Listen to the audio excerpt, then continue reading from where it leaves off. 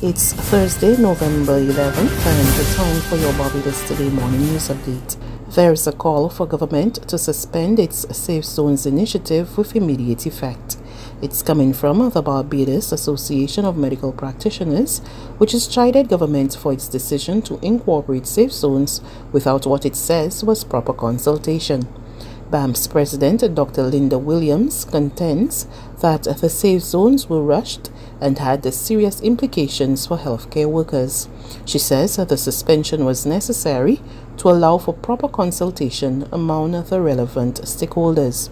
The consensus, Dr. Williams says, was reached by BAMP's membership during a meeting on Monday, the same day the Safe Zones concept was rolled out. BAMP also met with the Minister of Health and Wellness, Lieutenant Colonel Jeffrey Bostic, and other senior health officials on the matter. The Barbados Workers Union is cautioning employers against using the COVID-19 pandemic to place employees on the breadline.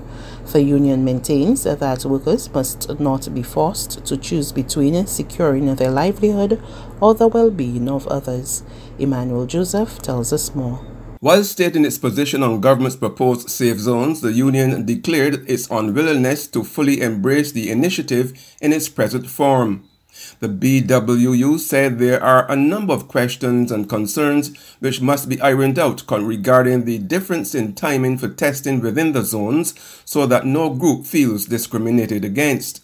For instance, it says included would be questions on the potential impact on the employee's ability and right to work should there be a backlog of test results. In a specially prepared statement for Barbados today, the employees' representative body said there's need for more clarity on what constitutes a failure to comply and conversely, with respect to the clients or patients, what mechanisms are being put in place for the protection of the workers. The union argued that many of the decisions made by some employers with regards to the vaccination of their staff have no legal precedent and will therefore require a consideration of the greater good. The union leadership said the pandemic by no means should be used as an opportunity for employers to take advantage of workers or to force them to choose between securing their livelihoods or the well-being of others. It contended that in light of the economic times and financial despair among families, it is also certainly not a chance to reduce headcounts and put workers on the breadline. Emmanuel Joseph for Barbados Today. An appeal has been made for more resources to be made available to help prepare prisoners for life beyond bars. It has come from Assistant Chief Officer and Head of Inmate Rehabilitation at Her Majesty's Prisons Dodds, Anthony Holder. He was speaking during a forum on Tuesday at the Cave Hill Wesleyan Holiness Church. What we need more is still a friend on prisons. We need more help. We need the education department in prisons to be run by the Ministry of Education. We need we need person from say psychologists, more psychologists. We got one drug, drug counselor who close to NCSA. We got one psychologist. We need more psychologists. We need more more drug drug drug, drug counselors. We need more educators. We need more of these here. Instead of that same prison door work, give us the help. Give us the, the professionals. Let me see a trained person with sex offenses, sex offenders. Do we have a, a sex offender department? No, we don't.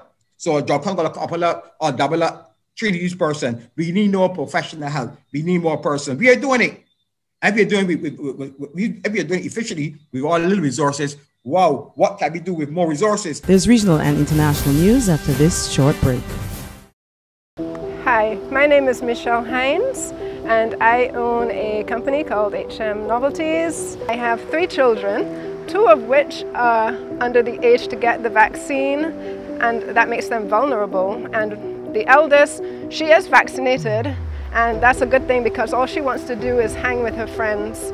I take care of my 80 year old mum and she has many comorbidities. And I love my mum and I would not want for anything to happen to her. I am one of the ones that suffered absolutely no symptoms for either the first or the second jab. When you have the vaccine, you have a weapon to fight against this virus, to fight against this beast. 95% of my friends and family are vaccinated and that literally makes me feel secure. Let's roll up our sleeves and get back to living.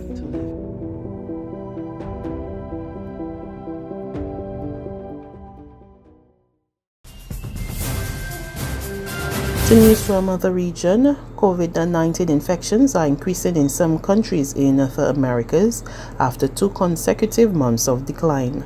So says Director of the Pan American Health Organization, Dr. Carissa Etienne, who revealed that over the last week, 700,000 new cases and 13,000 COVID-19 related deaths were reported in the region. We are seeing jumps in cases in parts of Colombia and Bolivia. In the southern cone countries, we've seen an on up an upward trend after public health measures were re- relaxed. In the Caribbean, while Cuba, Jamaica, and Puerto Rico have reported decreases in new infections, cases are rising in the Dominican Republic Trinidad and Tobago, and Barbados. The Cayman Islands and Dominica are also experiencing a high number of cases. The good news is that vaccinations continue to pick up in our region. Some 48% of people in Latin America and the Caribbean have been fully immunized against COVID. However, Dr. Etienne says vaccine coverage is still much lower in some countries and territories. In Jamaica, St. Vincent and the Grenadines, and Guatemala, less than one in five people have been vaccinated and protected. In Nicaragua, coverage remains in the single digits, and in Haiti, less than 1% of people have been fully vaccinated. This inequity must be addressed. PAHO is committed to helping countries in our region secure the vaccines that they need to protect their people. Though don- through donations via COVAX and through direct procurement, we are already working with manufacturers to secure additional doses on behalf of our region. And finally, Global Health Agency UNITAID calls on all partners to dramatically increase funding for oxygen response. It has also joined the Every Breath Counts coalition in urging high burden country governments to take action to reduce air pollution related pneumonia deaths. Director of Programs at UNITAID, Robert Matiru, issued the call ahead of World Pneumonia Day, which is observed on November 12th. 800,000 children die each year from pneumonia, which remains the deadliest infectious disease for children under 5. Unless efforts to address pneumonia are increased, it's likely that most low and middle income countries will not meet the Sustainable Development Goal targets set for 2030, just nine years from now. To reduce deaths from pneumonia, particularly among children, we need more political commitment at all levels, we need additional investments, uh, particularly for transformative health products, such as those that measure the level of oxygen in children to detect severe disease, as well as access to oxygen itself, which will save lives.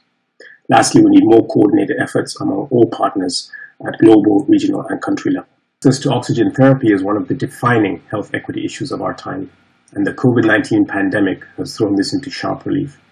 UNITAID, a global health agency focused on health innovation, is spearheading efforts as part of the Access to COVID 19 Tools Accelerator ACT-A to address entrenched market barriers to oxygen access, such as high pricing or lack of medical oxygen capacity. Together with multiple partners, UNITAID is working to assess and develop tailor made solutions for countries, such as pressure swing absorption plants, which are medium sized generators of oxygen, bulk liquid oxygen, as well as portable oxygen concentrators. In addition, we're supporting the human capital that's required to service and maintain this important equipment. On World Pneumonia Day, UNITAID calls on all partners at all levels to dramatically increase funding for the oxygen response to help us tackle COVID 19 today, but also sustainably invest in the health of so many for the future. That's news. But for the very latest, visit us at www.barbadostoday.bb. You can also subscribe to our e-paper, email updates, or like us on Facebook, and sign up for our breaking news alerts via WhatsApp. We're also on Izumi Media in bus terminals, as well as screenplay at supermarkets and gas stations near you. And you can also hear us on Mix 96.9 FM and Capital Media HD 99.3 FM.